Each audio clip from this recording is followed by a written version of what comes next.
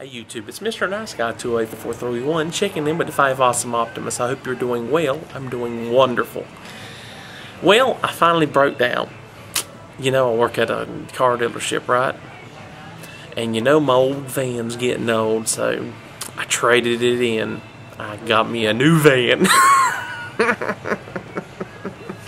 yeah, I'm gonna miss the old girl. She, but she's a 2001 model. It's time to trade her in, you know. Told my wife, I said, you better watch. I traded in one, I'll trade it. I didn't really, because she would hurt me.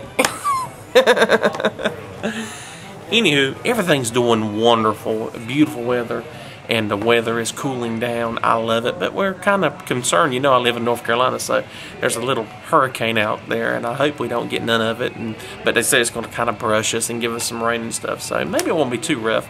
Um, y'all, take care. That's all I got for right now. I'll talk at you later. Have yourself a nice day. Bye.